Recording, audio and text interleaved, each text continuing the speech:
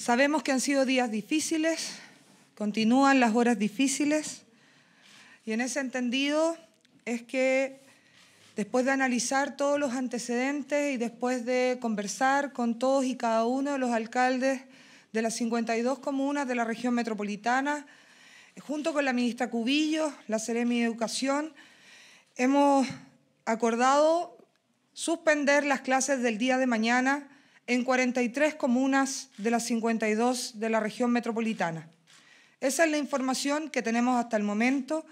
Quiero ser bastante clara de que eso significa la suspensión de las clases en los colegios, en la educación preescolar, básica y media, de los colegios municipales, particulares subvencionados y particulares.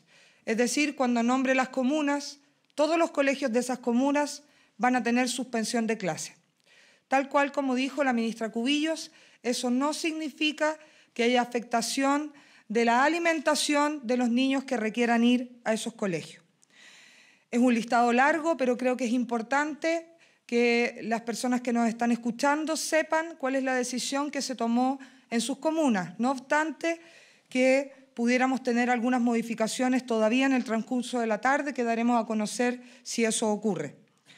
La suspensión de clases del día de mañana, lunes 21, es en las comunas de Algüe, Buin, Calera de Tango, Cerrillos, Cerro Navia, Colina, Conchalí, Curacaví, El Bosque, El Monte, Estación Central, Independencia, Isla de Maipo, La Cisterna, La Florida, La Granja, La Pintana, La Reina, las Condes, Lo Espejo, Lo Prado, Macul, Maipú, Melipilla, Ñuñoa, Padre Hurtado, Pedro Aguirre Cerda, Peñaflor, Peñalolén, Pirque, Providencia, Pudahuel, Puente Alto, Quilicura, Quinta Normal, Renca, San Bernardo, San Joaquín, San Miguel, San Ramón, Santiago,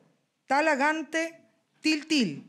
Las comunas que han decidido no suspender las clases son Huechuraba, Lampa, Lobarnechea, María Pinto, Paine, San José de Maipo, San Pedro y Vitacura. Y la comuna que tenemos pendiente de respuesta es Recoleta. Claramente, 43 comunas de las 52 son más comunas de las que hubiésemos querido.